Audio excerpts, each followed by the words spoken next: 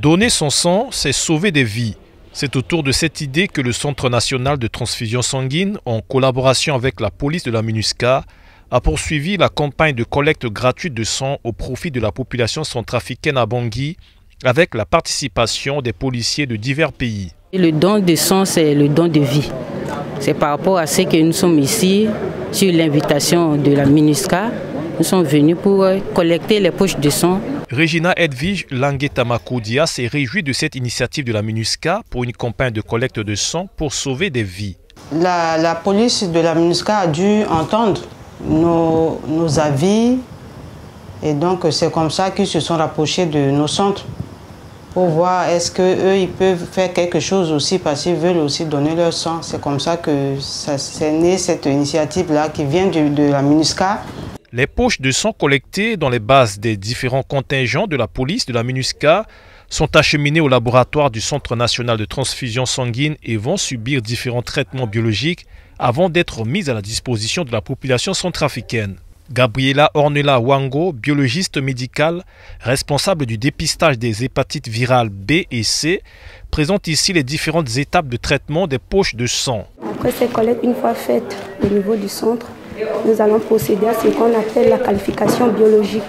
L'opération dite qualification biologique consiste à faire le dépistage systématique des quatre marqueurs recommandés par l'Organisation mondiale de la santé, à savoir le dépistage du virus de l'hépatite B, le virus de l'hépatite C, le virus du sida et la syphilis.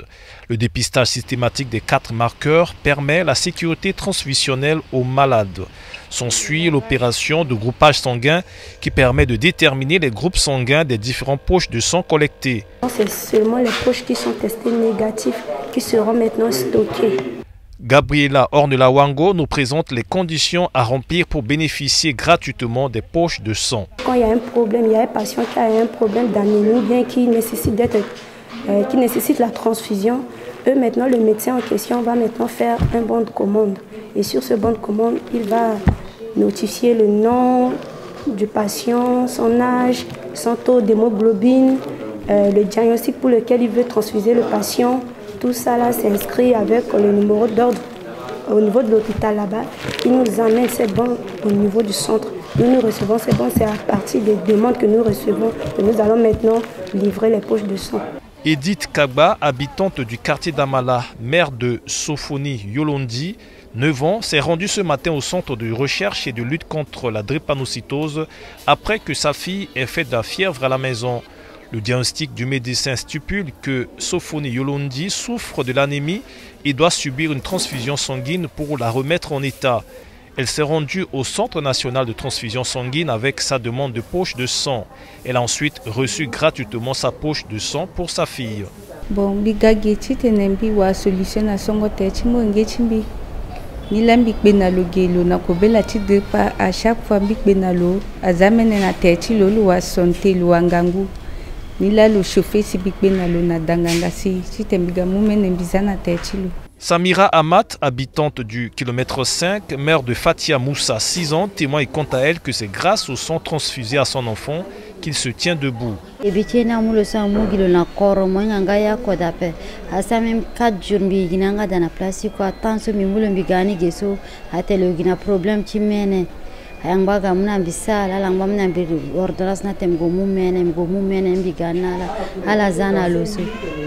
Gertrude Batella, habitante de Bimbo, mère de Kevin, 5 ans, salue l'initiative de don gratuit de sang de la MINUSCA. C'est grâce à ce geste, selon elle, que son enfant est vivant. Car avant, les poches de sang se vendaient et c'est difficile pour les parents de l'acheter. Mais maintenant, tout est gratuit.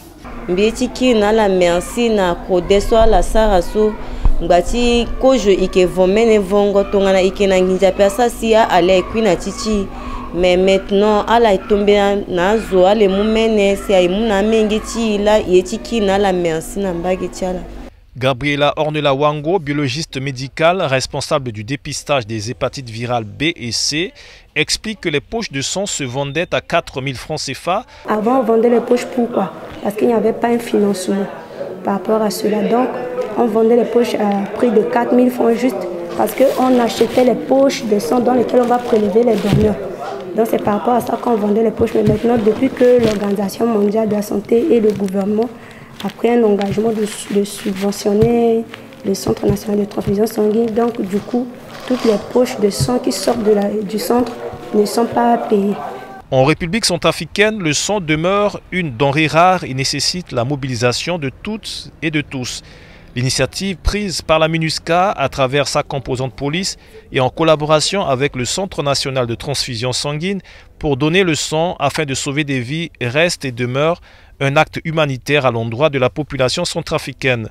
Donner son sang permet de sauver des victimes d'accidents de la route, des femmes qui subissent la césarienne à l'accouchement, des enfants qui souffrent de la dépanocytose et bien d'autres maladies. Il est important de rappeler qu'un donneur ne court aucun risque sanitaire. Pour cette opération, le donneur remplit un questionnaire médical pour permettre au centre de vérifier entre autres son poids, sa tension artérielle et son taux d'hémoglobine. Le poids du donneur doit être d'au moins 50 kg et le donneur doit être âgé de plus de 18 ans.